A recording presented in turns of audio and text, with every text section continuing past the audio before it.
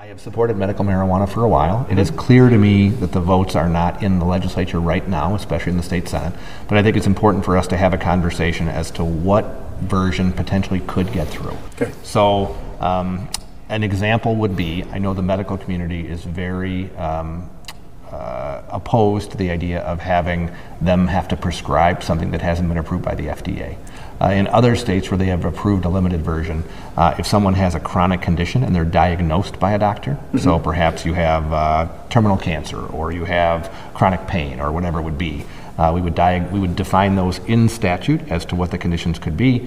And if a doctor diagnosed you with that, which they would do whether you took opioids or medical marijuana, um, you would have the ability to access um, that treatment. I think we've really fallen behind as a state, um, and it seems sometimes like the goalpost changes. I, know the speaker has put it out there, um, and is probably further along than some of his members on the issue.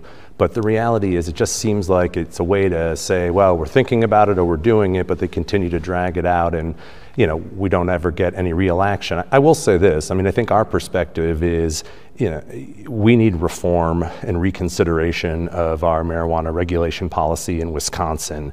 I know that there are pros and cons of legalization of medicinal, and I think that's why you have hearings on these bills. It doesn't need to be, we need to act. I think we can get some questions answered. I think we can get some of the issues explained and understood, and then talk about things going forward. So, certainly something would be better than nothing.